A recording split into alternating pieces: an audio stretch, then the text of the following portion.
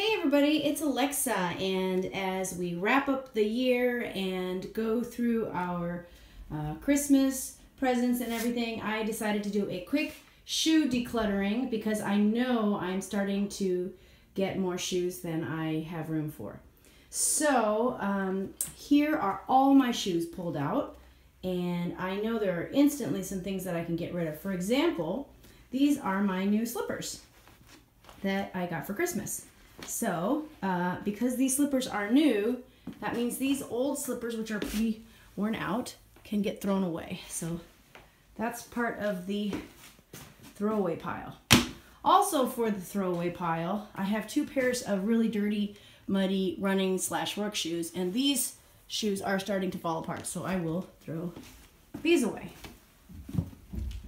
Now, looking at my uh, chanclas, I have several pairs of, of sandals, of little um, flip-flops.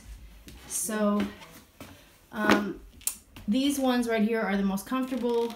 These are sort of my backup for, um, for going to the gym. But um, I think what I'm going to do is get rid of these. So, um, and I also, these had sparked joy, but now I'm ready to um, get rid of these. These I will donate because they're still in okay condition. So I will make a donate pile somewhere or I'll get a bag for it. Now, um, some of these are not going to be as easy. Um, definitely keeping my regular running shoes. So over here is the keep pile, I guess. These are boots that my husband said I can donate, so I'm gonna put these over in the donate pile for the moment. Um, I love these, so I'm gonna put these over here with my tennis shoes. And like I said, I'm keeping these as my remaining pair, and I don't need that many pairs of those. Uh, these are broken, so I'm throwing them away. So that goes in the throwaway pile. What else can go? Um, so these three pairs of beige heels, these I really love them and they're super comfortable. They are starting to come apart. Will I take them to be repaired or will I replace them? I don't think I'm ready to let these go yet, but they are really fabulously comfortable for gigs. These are um, actual dance shoes, and these also are actual um, professional dance shoes. So those are useful for my job. These are professional type of shoes. Be nice if they were maybe black instead of brown, but these are good for like a business type of meeting where I need to look professional and I can't wear something that's too high or slutty looking. Haha. Um, these are some shoes. I really love them. Sometimes I think it would be nice to go over the straps and give them a new a makeover. Um, but they are they cross in front. They're super comfortable. These also are very good gigging shoes. They are very comfortable and they go with a lot of my dresses.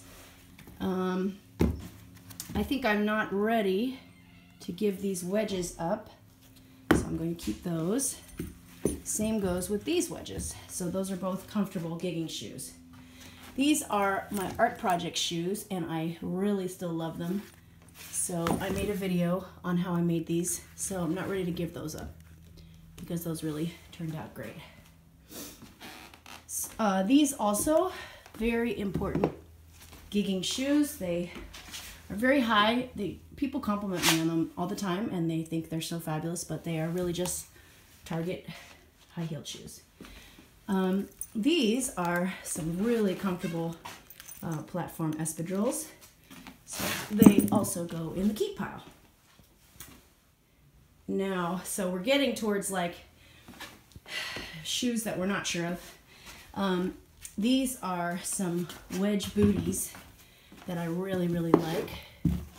You can see them right there. So those also going in the keep pile.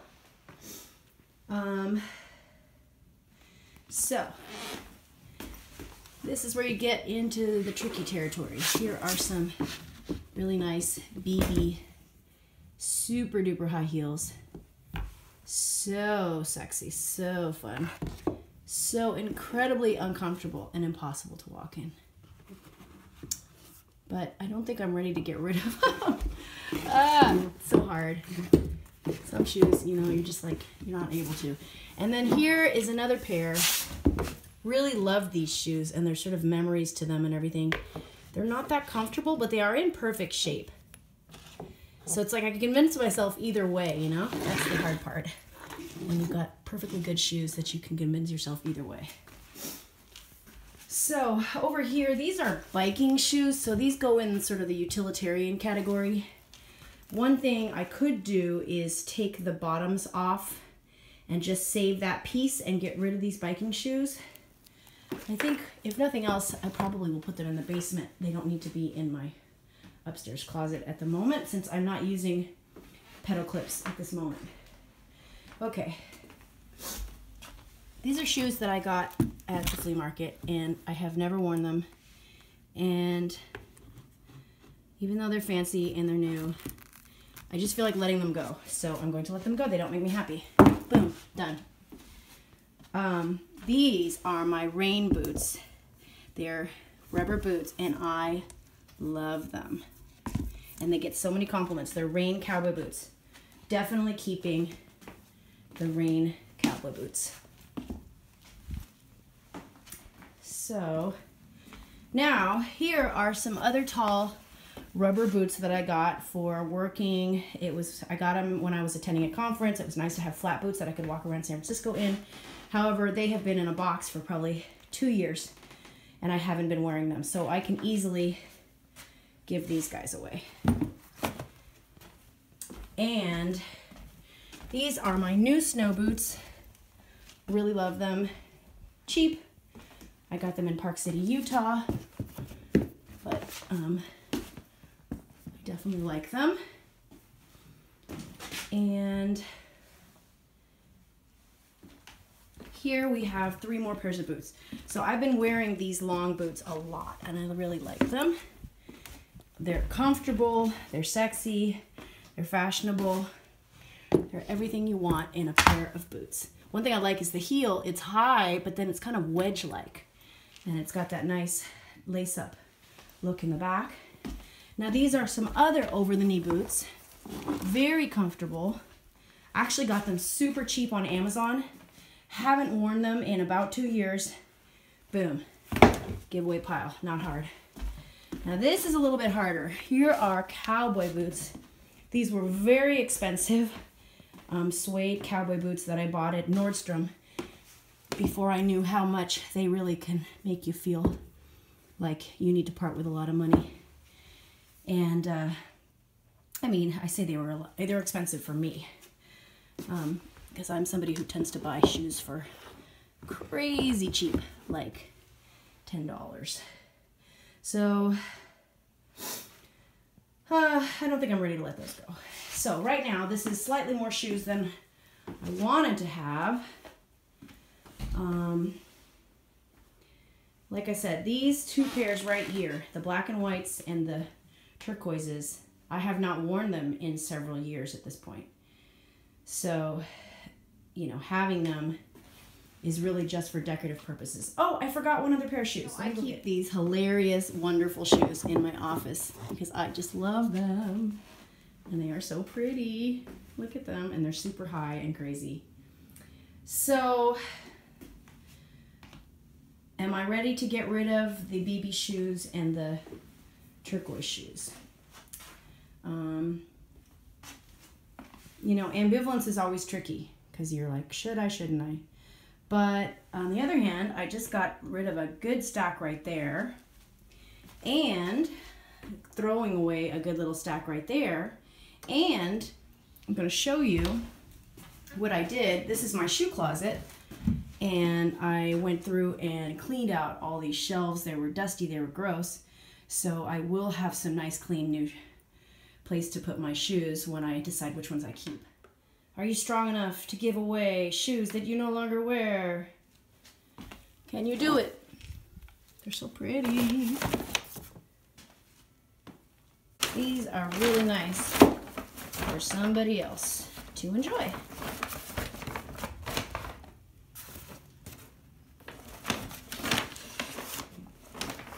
Just had one idea, which is to take these shoes, which I am having trouble letting go, and put them together with these shoes in my office. So they will get a place of honor in my office, which right now is a little bit messy, but it's kind of a neat idea when you think about it to kind of decorate with um, clothes in a way.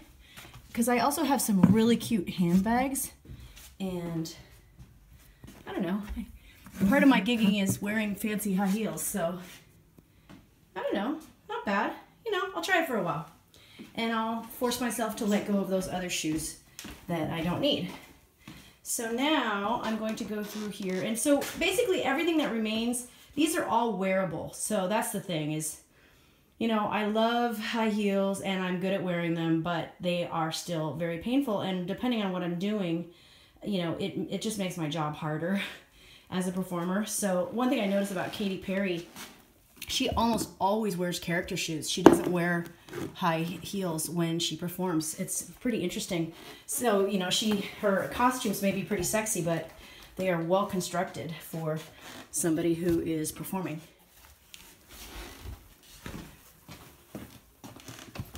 Putting everything away.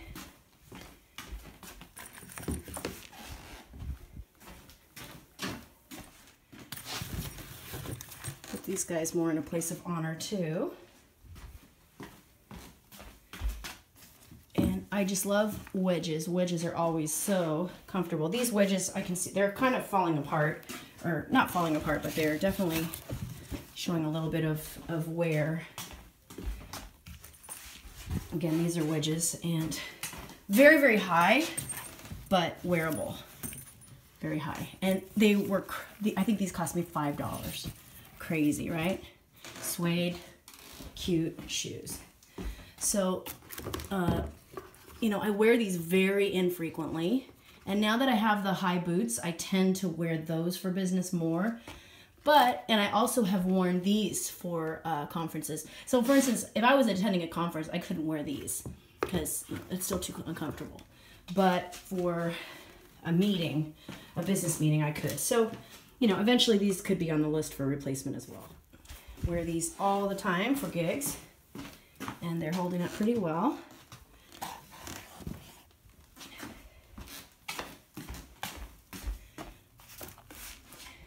I wear these all the time for gigs.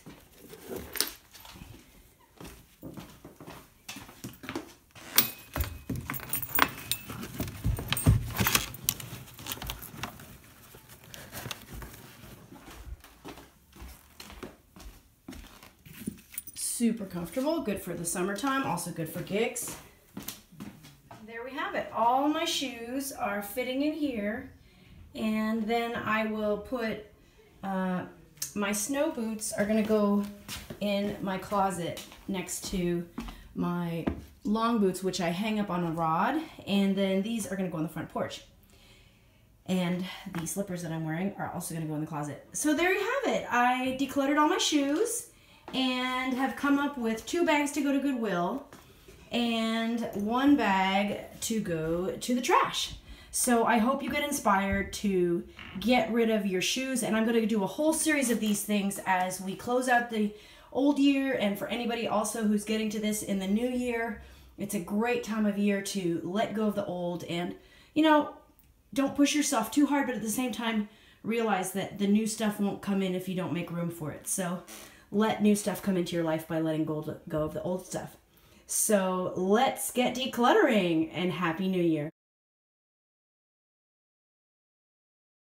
Mm. Hey, so I got a nice selection of things right after Christmas to take to Goodwill. And the important thing is once you get these things in bags, get it off to charity as soon as possible because otherwise it builds up on the front porch and before you know it, it's February. So let's do this. Let's get it off and into the hands of deserving people.